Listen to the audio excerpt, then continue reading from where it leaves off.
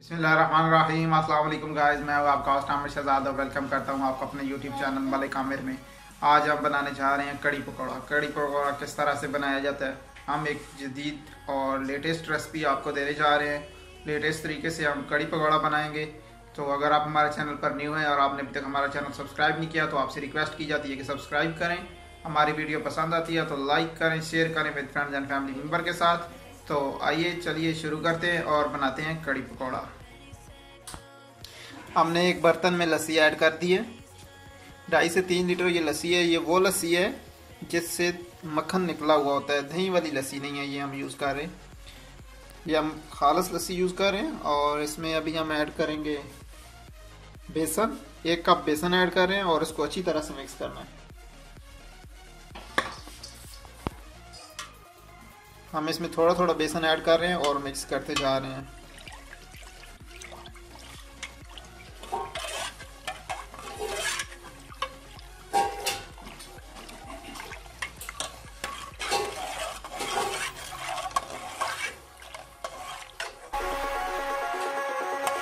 हमने बेसन इसमें ऐड कर दिया और इसको अच्छी तरह से मिक्स कर देना है।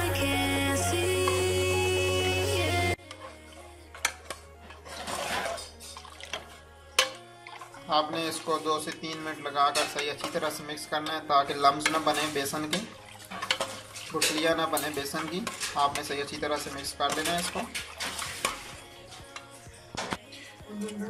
हमारा बेसन जो है वो लस्सी में मिक्स हो गया है और अभी हम आग लगाते हैं चूल्हे को। और देगची को रख देते हैं चूल्हे पर। और इसको थोड़ा सा गर्म होने देंगे। उसके बाद हम इसमें कुछ मसाले ऐड करेंगे।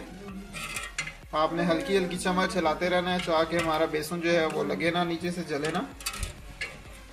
फ्लेम को आपने कर देना है तेज़। हमारी लस्सी जो है और गर्म हो गई है। अभी हम इसमें ऐड कर रहे हैं एक तेज़पात, दो सब्ज़ लाची दारचीनी और कुछ ज़ीरा। ये हम ऐड कर देंगे। हाफ़ टी स्पून हल्दी ऐड कर देनी है आपने। और नमक अपने टेस्ट के हिसाब से ऐड करना है। आप कम या ज़्यादा नमक ऐड कर सकते हैं और अभी हम इसको मिक्स कर देते हैं और इसको पकने देंगे।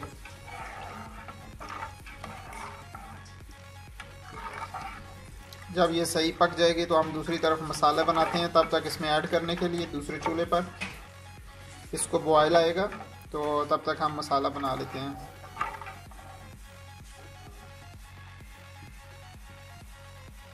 हमने पैन को चढ़ा दिया चूल्हे पर अभी हम इसमें ऐड कर रहे हैं कुकिंग ऑयल ये सरसों का ऑयल है। कुकिंग ऑयल तो हम यूज़ नहीं करते, लेकिन ये सरसों का ऑयल है। अगर आपको सरसों का ऑयल चाहिए हो तो आप हमसे रब्ता कर सकते हैं। हम खाली सरसों का ऑयल भी प्रोवाइड कर सकते हैं आपको। हमारा ऑयल जो है वो गर्म हो चुका है। अभी हम इसमें ऐड करते हैं बहुत प्याज।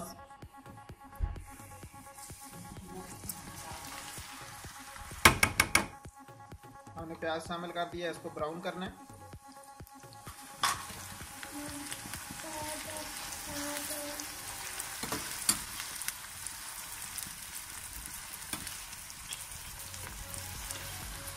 हमारी लस्सी जो है, वो भी बॉयल आना शुरू हो गया है इसको। आपने इसको अच्छी तरह से बॉयल आने देना है। तब तक हम मसाला बना लेते हैं। हमारा प्याज जो है वो ब्राउन हो रहा है। हम बना रहे हैं कड़ी पकौड़ा ना तो इसके लिए हमने कुछ सब्ज़ी जो है वो काट ली है। इसमें है आलू, प्याज, हरा धनिया, टमाटर और हरी मिर्च आपने इस तरह से काट के मिक्स कर लेनी है। तो अभी हम इसमें बेसन और मसाला डालेंगे तो वो आपको बताते हैं साथ साथ हमारा प्याज ब्राउन हो गया, अभी हम इसमें ऐड कर रहे हैं अदरक, लहसुन का पेस्ट एक चम्मच। ये ऐड करने के बाद आपने इसको कर देना मिक्स।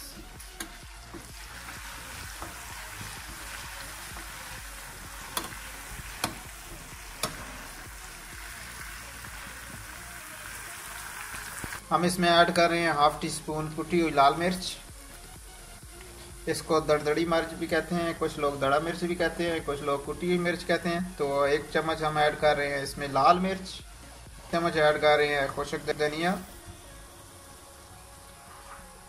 हमने कड़ी में ऑलरेडी सॉरी हमने लस्सी में ऑलरेडी नमक डाल दिया था तो मसाले के टेस्ट के मुताबिक हम नमक ऐड कर रहे हैं हाफ़ चम्मच हाफ़ टी स्पून और हम इसको अभी भुनेंगे मसाले को।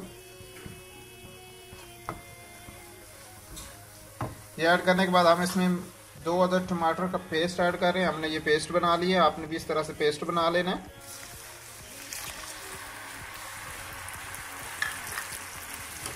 हमने टमाटर का पेस्ट ऐड कर दिया और टमाटर का पेस्ट हमने इसलिए डाला है कि टमाटर अलग अलग नज़र नहीं आएँगे। कड़ी का कलर जो है वो बहुत प्यारा आएगा। और अभी हम इस मसाले को दो से तीन मिनट के लिए भूनेंगे। सही अच्छी तरह से भून जाए। तब तक हमारी लस्सी भी है जो वो तैयार होगी इसको भी बॉयल आ गया तीन से चार दफ़ा। और साथ में हम पकौड़े का बेसन भी तैयार कर लेते हैं। हमारा मसाला तैयार हो रहा है। तब तक हम बेसन बना लेते हैं पकौड़ों के लिए। अभी हम इसमें ऐड कर रहे हैं एक टीस्पून लाल मिर्च कुटी हुई। टीस्पून लाल मिर्च।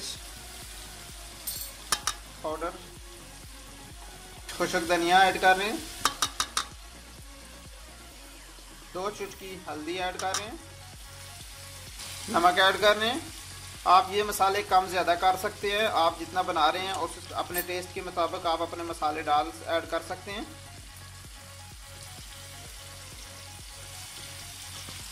अभी हम इसमें ऐड कर रहे हैं बेसन, एक कप।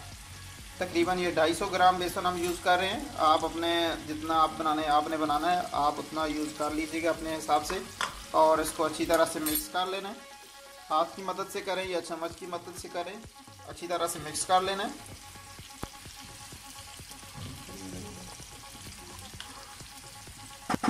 हम चम्मच की मदद से इसको बेसन को अच्छी तरह से मिक्स कर लें और अभी इसमें हम ऐड करेंगे पानी।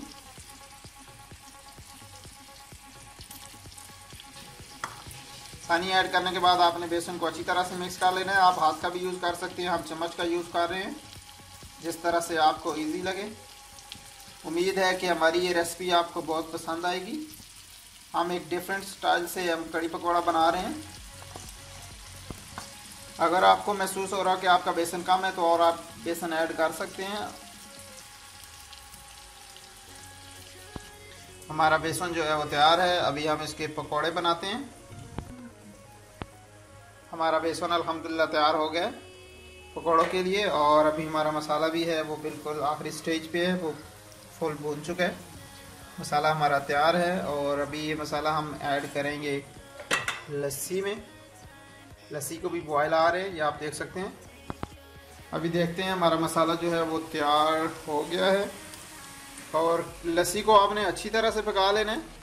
मसाला ऐड करने के बाद जस्ट एक बार आपको इसने, इसको बॉयल आने देना अभी हम ऐड कर रहे हैं मसाला कड़ी में। आपने मसाला ऐड करने के बाद अच्छी तरह से मिक्स कर लेनी है।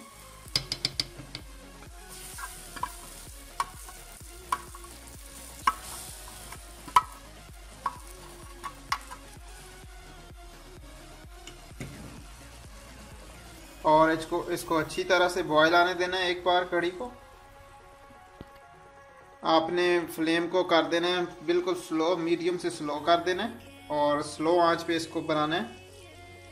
तब तक हम पकौड़ों के लिए ऑयल रखते हैं चूल्हे पर और पकौड़े तैयार करते हैं। आपने नमक चेक कर लेना, मैंने अभी चेक किया था, काम था तो अभी थोड़ा सा नमक और ऐड कर दिया। और अभी हम इसमें ऐड कर रहे हैं सब्ज़ मिर्च। तीन से चार सब्ज़ मिर्च ऐड कर देनी है आपने। और इसको बिल्कुल, और इस कड़ी को बिल्कुल लो फ्लेम पे आपने इसको पकने देना है। सब्ज़ धनिया हमारे पास पड़ा हुआ है तो ये हम बाद में ऐड करेंगे। जब कड़ी को सही बॉयल आ जाए से पक जाए तो अभी आइए और बनाते हैं पकौड़े। आपने कड़ी को दो से तीन मिनट पकाना है। और अभी हम ऐड करते हैं कढ़ाई में ऑयल कुकिंग ऑयल ये कुकिंग ऑयल नहीं है, ये सरसों का ऑयल है, मैं बार बार आपको बता रहा हूँ, इसलिए इसका कलर जो है वो येलो आता है।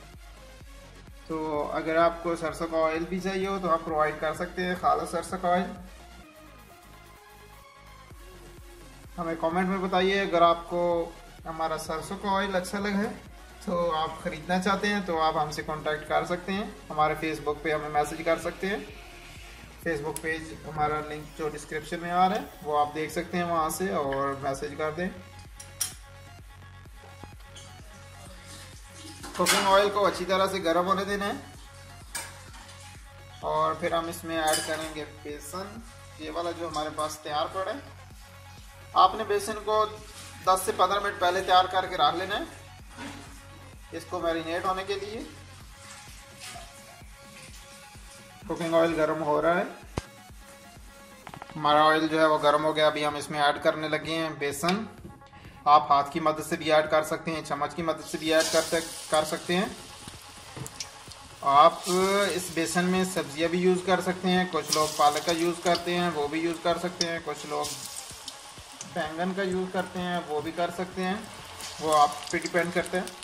लेकिन हम इसमें जस्ट आलू और प्याज, टमाटर, हरी मिर्च, सब्ज़ धनिया ऐड कर रहे हैं। और ये हमारे पकौड़े जो है वो तैयार हो रहे हैं।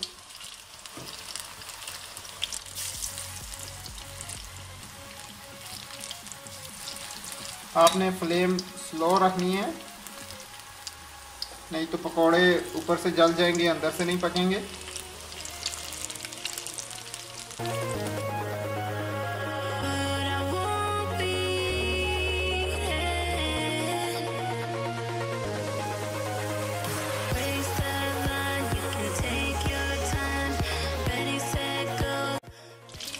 कड़ी हमारी तैयार हो गई है और पकौड़े भी तैयार हो गए हैं। अभी हम इसमें डालने लगे हैं पकौड़े कड़ी में, जो आप देख सकते हैं। आपने फुल फ्राई कर लेने पकौड़ों को। अगर आपकी कड़ी अभी फुल पक्की नहीं है तो आप हाफ़ फ्राई करके भी डाल सकते हैं, लेकिन हम फुल फ्राई करके पकौड़ों को ऐड कर रहे हैं।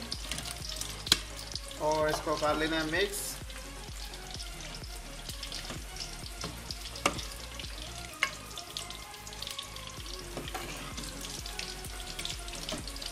मिक्स करने के बाद हम इसको डिश आउट करके आपको उसका फाइनल लुक देते हैं। तो हम कर रहे हैं डिश आउट हम अपने बाउल में डाल लेते हैं कड़ी।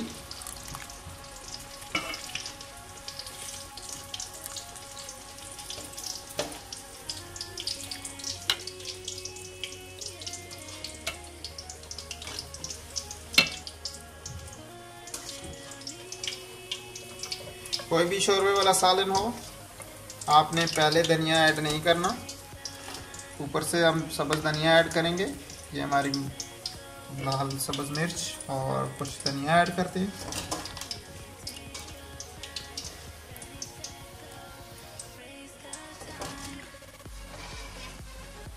हम कुछ पकौड़े और ऐड कर लेते हैं इसमें।